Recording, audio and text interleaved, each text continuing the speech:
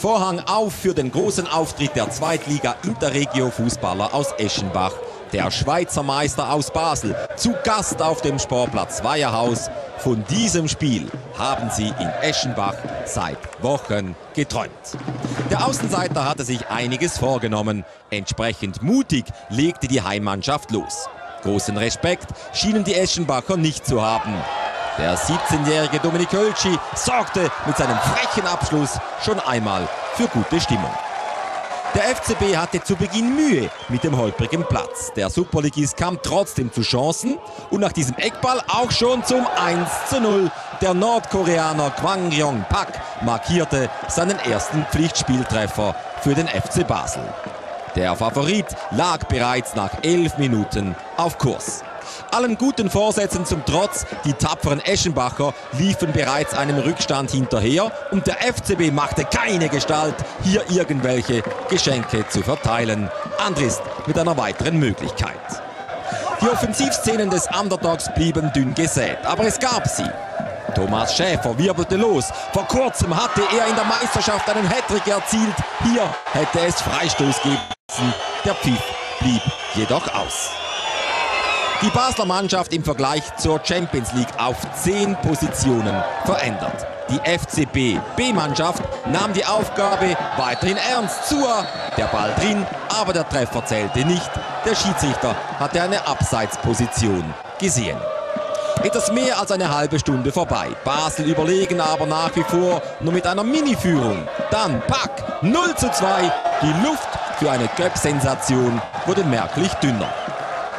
Pack, perfekt eingesetzt von Scott Chipperfield, konnte sich als Doppeltorschütze auszeichnen. Für FCW-Torwart Martin Amhof wurde die Partie immer ungemütlicher. In der 44. Minute hatte er Zua im Strafraum zu Fall gebracht. Penalty, der Entscheid war sicher vertretbar.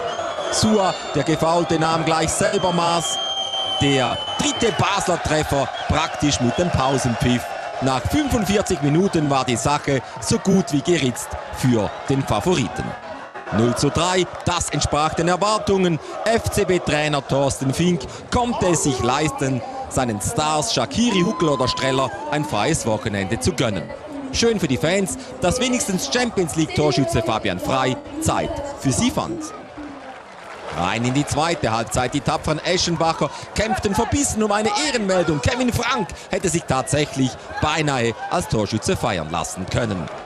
FCE-Trainer Portmann durfte stolz sein. Sein Team zeigte eine sehr ansprechende Leistung. Und dann kam die 64. Minute und dieser Angriff der Eschenbacher. Kevin Frank.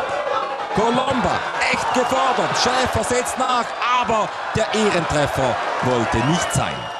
Die 3700 Zuschauer waren trotzdem begeistert. Die Gäste nahmen es in dieser Phase ziemlich gemütlich.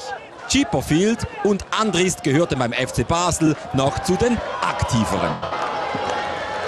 Der FCB hatte nach dem Seitenwechsel den Energiesparmodus eingelegt. Nur ganz selten ging es noch zügig nach vorne. Andrist auf Chipperfield, der Australier, krönte sein Comeback nach der langen Verletzungspause mit dem 4 zu 0 in der 71. Minute. Auch bei diesem Gegentreffer gab es für den Eschenbacher Schlussmann nichts zu halten.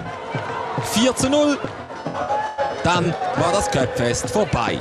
Der FC Basel kam ohne großen Aufwand zu einem lockeren Sieg, aber eigentlich gab es heute in Eschenbach nur Sieger. Auch der Underdog durfte zufrieden sein.